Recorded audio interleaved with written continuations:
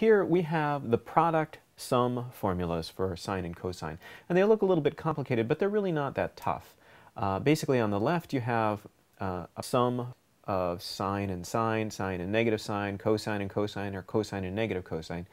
And on the right you've got a product, something multiplied together. what we're going to be doing with these problems is using these formulas both forward and backwards and um, trying to figure out uh, one side or the other. Let's take a look at this first one. We have which is the cosine of 6x plus the cosine of 4x, written as a product containing only sines and or cosines. So the cosine of 6x plus the cosine of 4x, that looks like the left side, that's our sum side, and it's just cosines, so it's probably going to be this guy right here.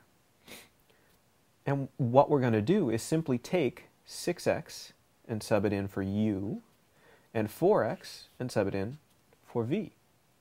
So if we're going to do that here, uh, we've got 6x plus 4x over 2. And let's see, that's multiplied 2 times the cosine.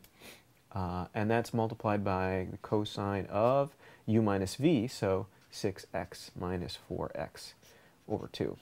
Now when we simplify this a little bit, we've got 10x divided by 2, so that's 2 times the cosine of 5x uh, times the cosine of, so that's 2x divided by 2, that would just be cosine of x. And what we get here is c. So not too hard, really just plugging in some values on that one. Let's look at one where we uh, do this backwards. So in this next problem we have which is negative 2 sine 5x times sine 3x written as a sum containing only cosines. Here they're giving us the product side of the formula and we need to find the sum side. Now our product is just sines, and we want to find a sum that's only cosines. So let's look at our, our formulas here. The only one that has a sum that's cosines and a product that's sines is going to be this formula here. So we're using this one, cosine u minus cosine v equals negative 2 sine of u plus v over 2 times sine u minus v over 2. Now, how do we find um, what uh, the product side, or the sum side of the equation is going to be? Well, I like to think about it like this. This 5x part here is going to sub in for this part right here. So 5x equals u plus v over 2. Let's write that. 5x equals u plus v over 2. And now we have the 3x. It's going to sub in right here. So the 3x is going to be u minus v over 2. 3x equals u minus v over 2. Now we'll do a little bit of simplifying here. We'll multiply both sides by 2. 10x equals u plus v. And 6x equals u minus v. So what, what we want to do now here is look for uh, u and v. If I have 8x is u and 2x is v, 8 plus 2, that would equal 10x. 8 minus 2, that would equal 6x. So looks like A is going to be our answer there. All right, let's look at one more.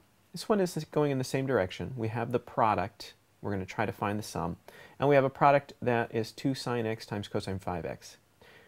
And we want a sum containing only sine. So let's look back at our formula here. A sum containing only sines is going to be this one or this one. And uh, we have the sine and the cosine. So it really could be either of these take a look at this. Uh, right, so we've got x subbing in for u plus v, and we've got 5x subbing in for u minus v uh, over 2. So let's write that. So x equals u plus v over 2, and 5x equals u minus v over 2. And then we'll simplify there. So 2x equals u plus v, and 5x, sorry, 10x equals u minus v.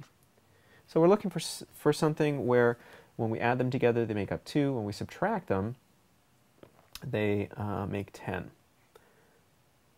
So 6 plus a negative 4 is going to be 2, and 6 minus a negative 4 is going to be 10. So it's looking like it might be this one here. And if we think about um, that formula, you could plug it in the other way and crunch it out and see that it actually works. So ended up being this formula, and our answer is sine of 6x minus sine 4x. So that's a little bit of work with the product sum formulas.